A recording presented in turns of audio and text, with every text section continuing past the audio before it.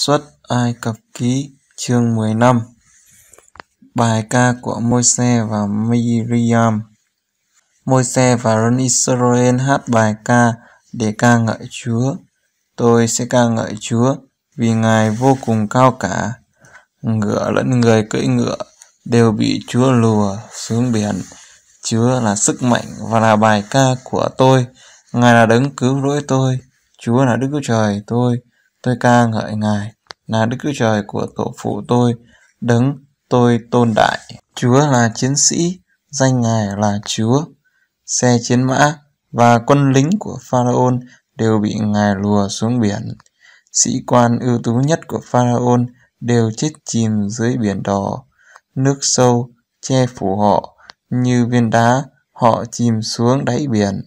Lạy Chúa, cánh tay phải Chúa đầy quyền uy, tay phải Chúa dẹp tan quân thù. Với uy quyền vô cùng vĩ đại, Chúa ném kẻ chống đối xuống đất. Với nửa giận phừng phừng, Chúa thiêu họ khác nào rơm rác. Hơi thở từ môi Chúa dồn nước lên cao.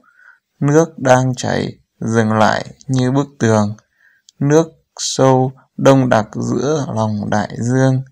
Địch quân khắc lác, ta đuổi theo, ta sẽ bắt kịp.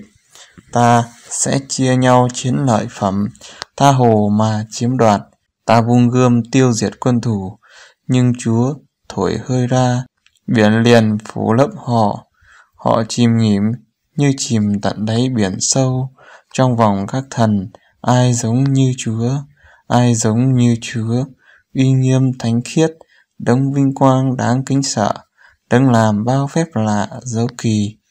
Chúa đưa tay phải ra, đất liền nuốt họ trọn đám. Với tình thương vô biên chúa dắt dẫn dân chúa đã chuộc với sức mạnh toàn năng chúa dắt đưa họ vào nơi ngự thánh. Các nước sẽ nghe và run sợ. Cơn kinh hoàng bám chặt Philippines, các lãnh tụ Edom đều khiếp đảm, cấp chỉ huy Moab run rẩy cầm cập, dân Canaan kinh hãi rụng rời, tất cả đều khủng khiếp trong hoang mang, Lạy Chúa, tay quyền năng Chúa đưa ra, làm chúng đứng chân như phỗng đá, cho đến khi dân Chúa đã đi qua, cho đến khi dân Chúa chuộc đã qua khỏi.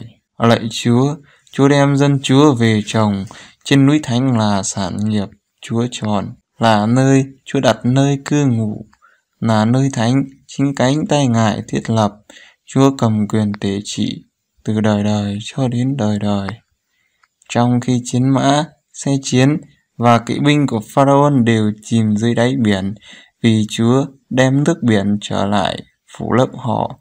Còn dân Israel đi ngoan qua biển như đi trên đất khô. Nữ tiên tri Mariam, chị của Aaron, và các phụ nữ đều cầm trống cơm nhảy múa. Miriam cất tiếng ca. Hãy hát lên ca ngợi Chúa, vì Ngài cao cả tuyệt vời. Chúa ném xuống biển sâu bao nhiêu chiến mã cùng đoàn kỵ binh.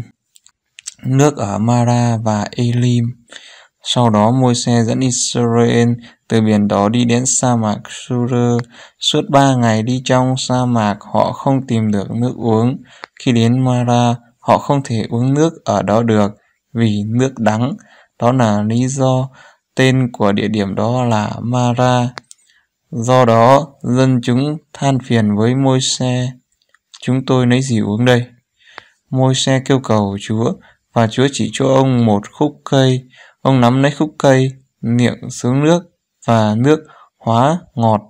Tại đó, Chúa công bố quy luật và sắc lệnh cho dân chúng và Ngài thử họ.